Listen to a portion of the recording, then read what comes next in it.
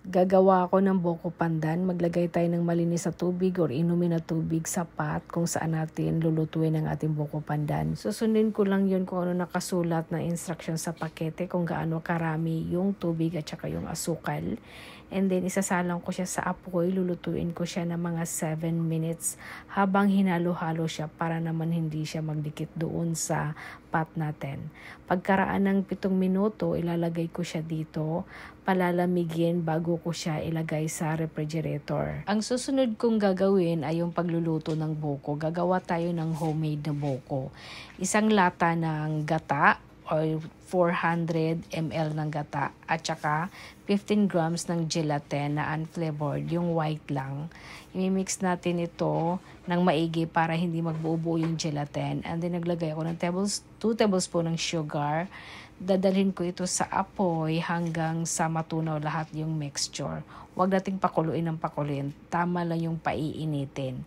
Pagkatapos nito ay isisit aside ko rin ito. Ilalagay ko ito sa hulmahan. Sinasala ko pala siya kasi may kunting buo-buo. So mas maigi. Tunawin nyo muna sa kukunting mainit na tubig or maaligamgam bago nyo ilagay sa gata. Pagkatapos nito isisit aside lang natin dahil ang susunod kong gagawin ay maglulutuin ko yung sago. Pinili ko yung sago na maliliit lang para mas madali siyang maluto. Lulutuin ko siya ng mga 20 minutes. Kailangan maraming tubig kasi malakas siyang sumipsip ng tubig. Pag naluto na, huhugasan siya and then isiset aside na siya.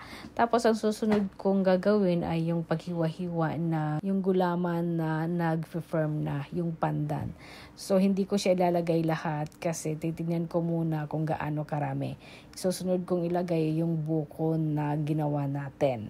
Tapos ito naman yung instant na condensed milk na ginawa ko rin. Siguro mga isang buwan na to sa refrigerator kaya medyo matigas siya.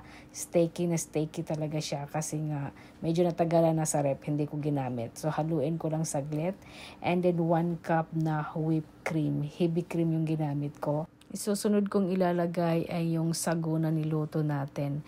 Medyo mga nagtigas na yung sago kasi natagalan ko sa rep.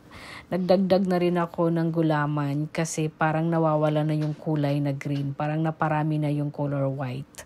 Hahalu-haluin ko lang siya tapos naglagay ako ng 1 half cup ng powdered milk. Napakalimnam-nam po pag powdered milk ang ginamit nyo. Napakalimnam-nam talaga. Kayo na magdagdag ng tamis. Hindi na ako naglalagay ng asukal. Matamis na yung instant condensed milk na ginawa ko. Tapos, ilalagay lang siya sa rep. Tapos, after mga 4 hours, ito, kinuha ko na siya, titigman ko siya. Naglagay nga pala ako ng cheese, nagtopping ako ng cheese. Hindi ko nilagay yung cheese hinalo kasi nga, papait yung cheese pag, na, pag nakababad siya sa cream. Thank you!